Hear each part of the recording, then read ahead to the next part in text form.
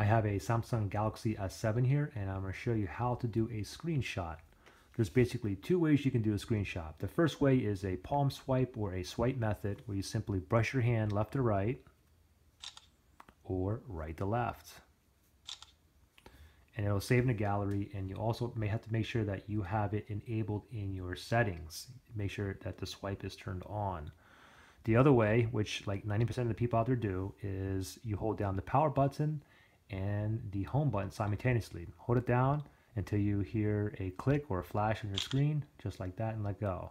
Do it again, just like that, and it saves directly into your gallery. Now, the cool thing is, let me open up a browser here, and let's say you have part of this article here, and you don't want to only send a screenshot of just this, you want to get a little bit more in here. You know, instead of sending like three or four different screenshots, what you can do is we'll do a screenshot here, and then this will pop up. It says capture more. So I'm going to click on capture more. Click on capture more again. If you look on the top left hand corner, it's saving everything on my screen. So let's say I want to stop there. You can also share and you can crop it right here as well. So let me just go back into the gallery and I'll show you what this last one looks like. And this is what it looks like now. This is your screenshot right here almost the whole article.